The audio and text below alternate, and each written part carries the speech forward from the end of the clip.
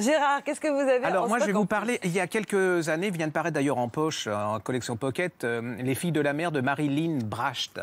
Alors ça, c'est une histoire que peu de gens connaissaient jusqu'à ce bouquin. C'est l'histoire de ces... On est en Corée. Euh, les Japonais ont envahi la Corée.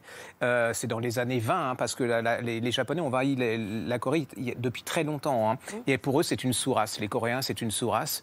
Et en particulier, ils cherchent des femmes, parce que la guerre, ils ont envahi la Mandchourie et tout. Et ils cherchent des femmes pour leur bordel. Et donc, c'est toutes ces femmes qui sont des femmes absolument fabuleuses, courageuses et tout. Ils vont les prendre, ils, vont, ils les emmènent. Et puis, euh, bon, bah, il va arriver ce qui va arriver. La guerre finit, ces femmes reviennent. Et reviennent, mais les, les- les femmes coréennes ont honte. Elles ont honte de, raconter cette, euh, cette histoire. Et ce, premier roman, enfin, c'est un témoignage, hein, c'est comme un témoignage, mais c'est un roman. Ben, c'est l'histoire de cette femme qui a 75 ans et qui, à 75 ans, décide de raconter à ses petits-enfants et à ses enfants ce qui s'est passé.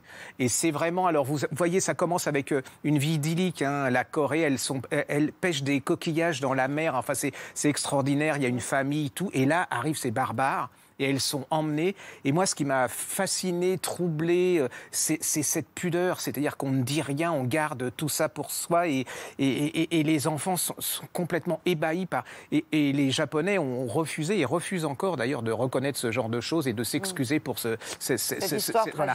Et là, alors vient, alors ça c'est extraordinaire parce que c'est paru, ça s'appelle euh, Pachinko de Min Jin Lee, c'est paru chez Charleston. Alors Charleston arrêtez parce que Charleston c'est un, c'est c'est un édition de détente, vous savez un peu autant n'emporte le vent. Ah oui. Donc il y a beaucoup de libraires qui lisent pas, beaucoup de disant c'est- et ça c'est le- pas du tout ça. Ça, C'est pas votre le- genre de, pas- de, de lire non, ce je qu'on suis doit capable lire. et de lire, euh, voilà.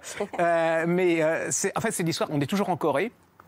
Et c'est l'histoire d'une petite fille aussi, euh, à la même époque. Et elle, on va raconter ces Japonais qui ont fui au Japon.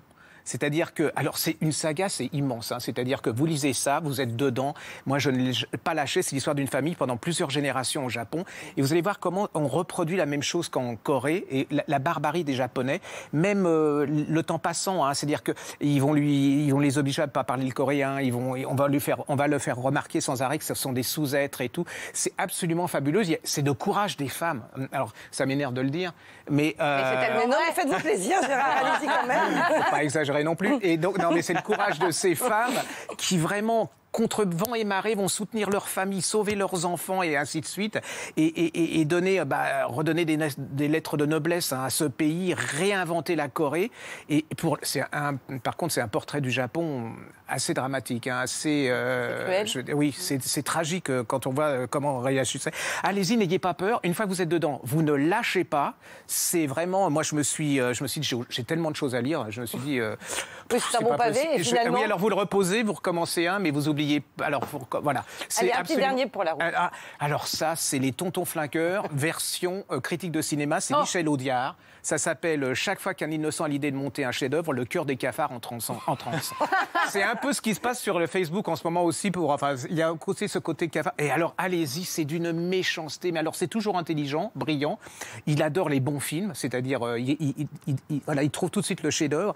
Et il y a des méchancetés, mais c'est un plaisir, même si vous aimez pas le cinéma. Il y a des, il y en a, ils s'en relèveront jamais, quoi. C'est, c'est vraiment, euh, voilà. le- par contre, il a une seule faute, faute de goût. Il n'a pas aimé Laura, ni il faut le faucon maltais. Ça, c'est, Ah. voilà, ça, c'est un peu triste.